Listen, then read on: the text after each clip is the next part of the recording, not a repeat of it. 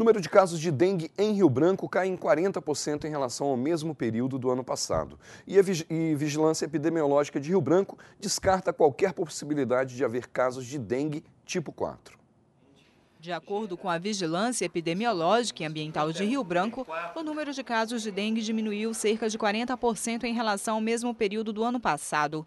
Nos postos de saúde, a procura por atendimento médico é bem pequena, mas a recomendação é procurar as unidades de saúde assim que os sintomas aparecerem. Na última semana, nós tivemos um dos menores registros é, de casos de dengue no município de Rio Branco este ano.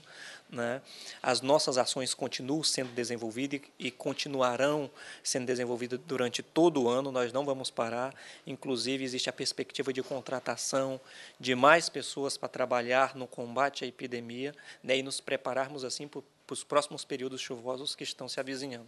O filho da cozinheira Elisandra Braga, Alife Freire, de 6 anos, está com sintomas de dengue há mais de uma semana. Ele está sendo acompanhado diariamente. Ele está repondo né, as plaquetas, está tomando bastante soro. Aí todo dia eu venho aqui para ele tomar o soro na veia, para fazer o exame para ver se as plaquetas estão tá subindo ou se não.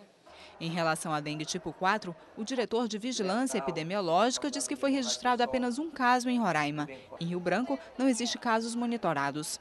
Nós estamos tratando de tomar algumas medidas, tomar alguns cuidados e para evitar que essa doença chegue até o nosso estado, né? mas até esse momento não existe nenhum registro, não existe nenhuma suspeita de dengue do tipo 4 no município de Rio Branco.